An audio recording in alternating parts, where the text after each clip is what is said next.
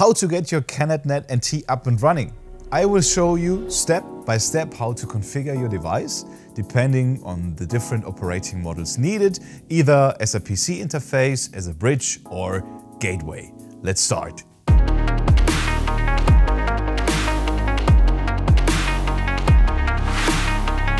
My name is Tobias. I've already recorded a video about the CAN@net NT product family, which is linked below, but today I would like to show you how to configure the devices. Depending on your use case, there are different options you can choose. You can configure it as a PC interface, as a gateway, or as a bridge. To do this, we need the Ixxat CAN Gateway Configurator, which can be downloaded from the Ixxat webpage. Just go to the support section, navigate to CAN@net NT and download the manual and the tool. Once you have unzipped the download file and installed the tool on your PC, click on the icon to start the CAN Gateway configurator and you will see the following screen.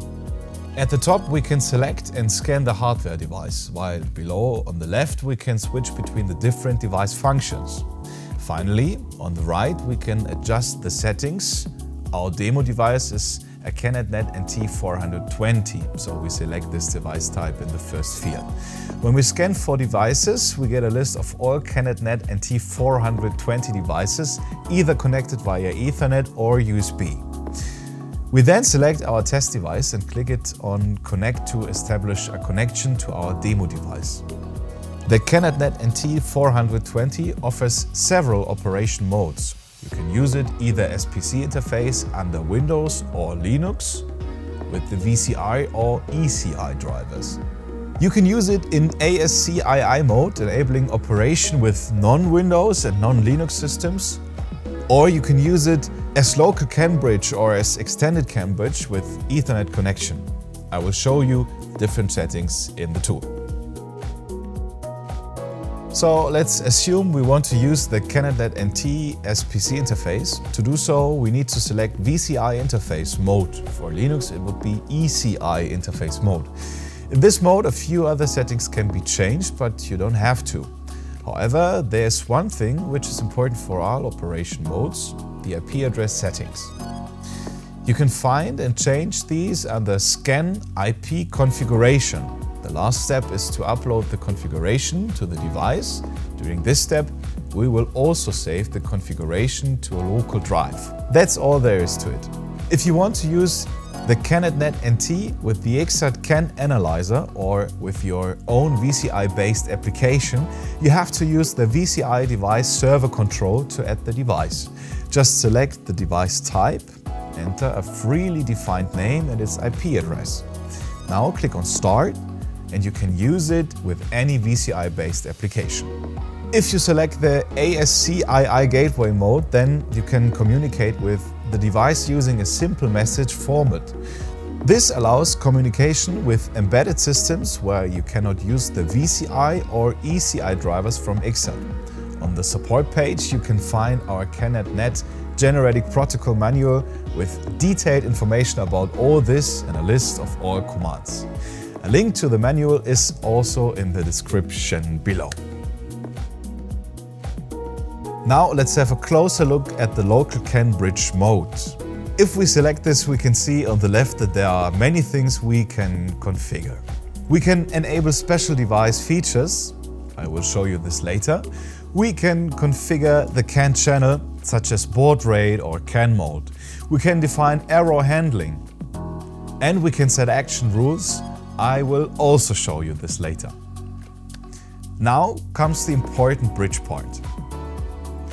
Within mapping tables, we can define how messages are transferred from one channel to the other. This is made line by line for each message or a message range. As you see, there is a high flexibility due to the multiple options you can choose from for transmission. If you work with the J1939 protocol, an adapted table is available, which makes the mapping a little bit easier. However, if you work with CANFD in a frame length that exceeds 8 bytes, you have to use the multiplex or demultiplex functionality to combine signals from several CAN frames within one CANFD messages. zero, or split messages from a large CANFD frame into several CAN frames. Last but not least, cyclic transmission allows to react to incoming messages by sending cyclic message frames. The tables offer many options for controlling message transmission. There's too many to show in this video, but you find a detailed description in the CAN Gateway Configurator manual in the description below. You can combine two, three or four CAN@net NT420 via Ethernet. This supports network connection over large distances and to bridge messages between up to 16 independent networks. When we switch to CAN Ethernet CAN bridge with four devices, you will see four devices on the left, one master device and three slave devices. For each device, you have to enter individual settings such as IP address, enabled functions, CAN port settings and more.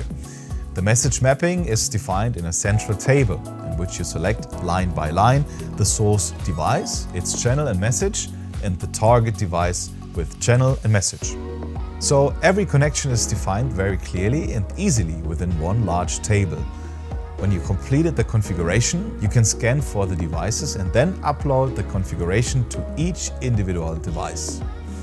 The tool recognizes the device by the IP address you entered under general settings for each device and uploads only the required configuration part for that device. Okay, we've covered the basic functionality, but there's so much more.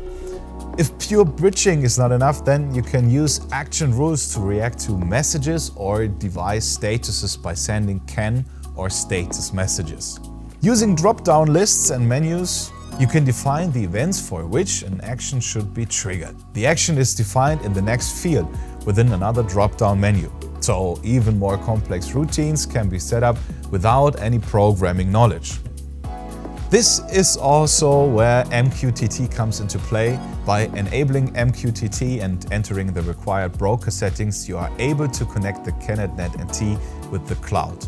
This will allow you to receive status messages on your mobile phone or to transmit data to the cloud, either for logging or central visualization. It is also possible to send messages via MQTT from the cloud to the CAN@net MQTT can be enabled under General Settings, where you simply have to enter the broker information. Using action rules, you now can easily react to events or messages to trigger an action, which sends either CAN data or device status information to the MQTT broker. The CAN@net NT also supports Lua, an easy-to-learn programming language which gives an even higher flexibility. The user-made scripts can run in parallel to the basic device functions and bridging based on the mapping table. If you want to use Lua on the CAN@net NT, a special design guide is available, which I will link you into the description below. Okay guys, thanks for watching. We hope this video helped you to get your device up and running. And if you enjoyed this video, please subscribe our channel, leave a comment or a like. Thanks for watching. Bye bye.